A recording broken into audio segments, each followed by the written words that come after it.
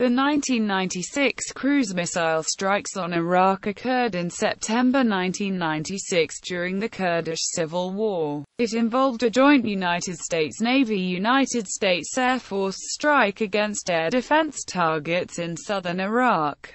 Iraqi offensive. On 31 August 1996, the Iraqi military launched its biggest offensive since 1991 against the city of Erbil in Iraqi Kurdistan. This attack stoked American fears that the Iraqi leader Saddam Hussein intended to launch a genocidal campaign against the Kurds similar to the campaigns of 1988 and 1991. It also placed Saddam in clear violation of United Nations Security Council Resolution 688 forbidding repression of Iraq's ethnic minorities.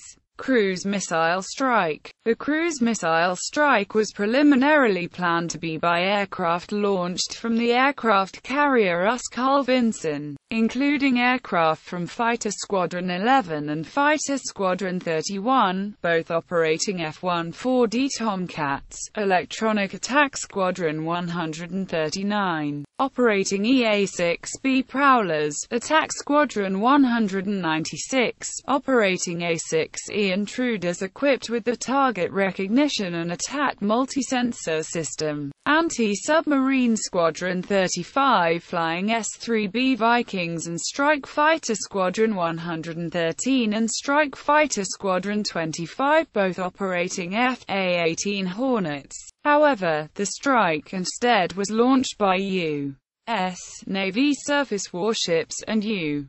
S. Air Force bombers. On 3 September 1996, a joint operation by the U.S. Navy's Carl Vinson Carrier Battle Group and U.S. Air Force, a combined strike team consisting of the guided missile cruiser US Shiloh, the guided missile destroyer US Laboon, and B-52 Stratofortress bombers escorted by F-14D Tomcat fighters from Carl Vinson, with the nuclear-powered guided missile cruiser US California serving as air warfare commander, launched 27 cruise missiles against Iraqi air defense targets in southern Iraq. A second wave of 17 missiles was launched later that day from the destroyers US Russell, US Hewitt, US Laboon, and the nuclear-powered attack submarine US Jefferson City.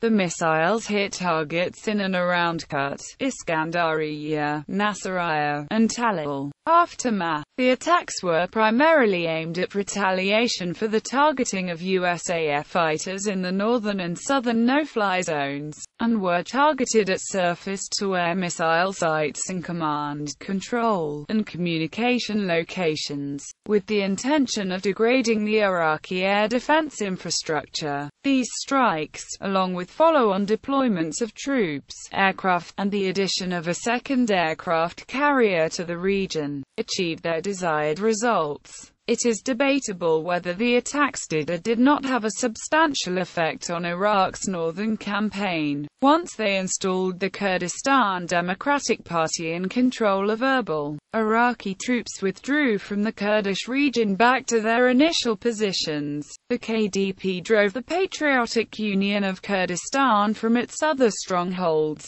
and with additional Iraqi help captured Sulaymaniyah. The PUK and its leader, Jalal Talabani, retreated to the Iranian border, and American forces evacuated 700 Iraqi National Congress personnel and 6,000 pro-Western Kurds out of northern Iraq. In response to Iraq's moves, the United States and United Kingdom also expanded Operation Southern Watch and the southern Iraqi no-fly zones from the 32nd parallel to the 33rd parallel, bringing it to the edges of Baghdad itself.